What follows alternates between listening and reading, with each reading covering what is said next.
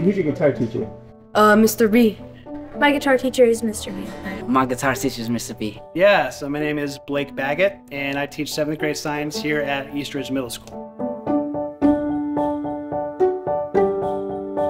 Um, what's your favorite thing about learning guitar so far? My favorite thing so far is playing the E minor and the D chord, because they're the easiest ones I've learned. Well, I find it interesting and calming that the rhythm and it's entertaining. So I'm a part of a uh, program called Project Inspire, um, where they um, train teachers in the area to work in low-income schools and high-need schools. And as part of that project, we have to do something called a change project.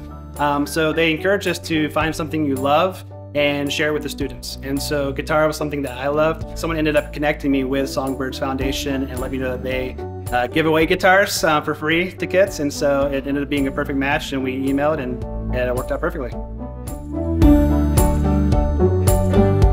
So far, do you find it easy or difficult? I find it in between. Some parts can be easy, some parts can be difficult. Probably all the calluses. It hurts a lot. Uh, switching like between the notes, that's what I found difficult, extremely.